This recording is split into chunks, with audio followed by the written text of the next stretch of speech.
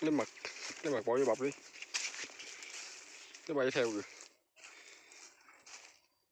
nó không có bỏ ổ đâu nó đằng đằng á. Về coi có mặt không coi có mặt không? Hình như là không có mặt. Chút xíu à. Rồi bự nhiều chứ chút xíu gì. Nguyên cục trên này nè. Này có đem về không? lấy luôn con đó này con nhỏ nhỏ trên này đó đem về chấm với mật ong ngon lắm mấy con nhỏ nhỏ này nè. cắt cắt cho nó cục hai cây ra đi bỏ vô bọc đi. Vậy xong rồi bỏ vô bọc. Cắt sát sát vô. Cái lũng bọc chảy. Hết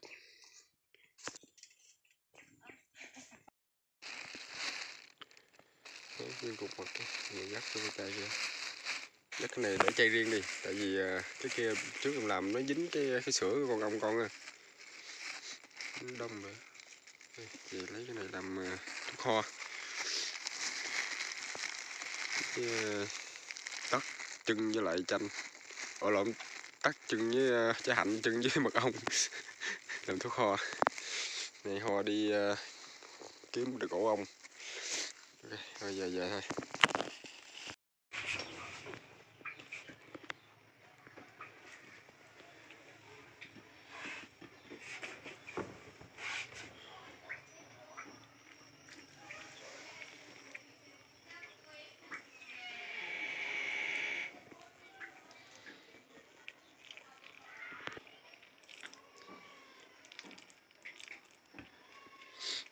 Mật ha.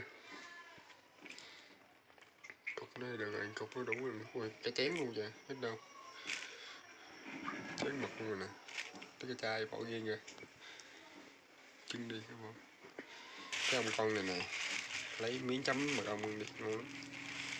Thử đi. Không sữa. Cái này nè chưa có ra ngoài nè.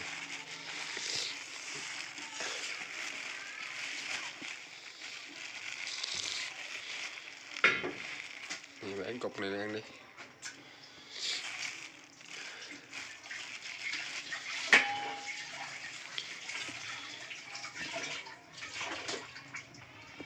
Em tí xíu cái cổ cục trắng trắng này nè chấm với mật ong đi Ăn nó béo lắm, vừa ngọt vừa béo nữa. Để thằng Hoàng bóp nó xịt sữa hết rồi. Nhiều Chấm. lắm. Chấm với mật ong đi. Mật ong vàng khè luôn đã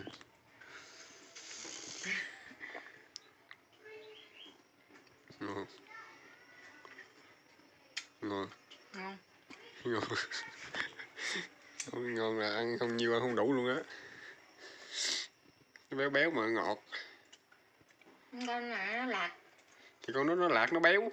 Cho nó mới, mới chấm mật ong. Nó mới ngọt lại được. Chưa ăn lần nào luôn. Cái mực đó bỏ chai đựng chai khác đi.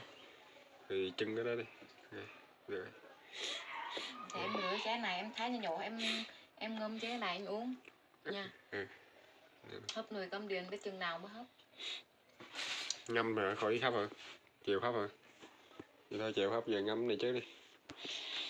Ok, nha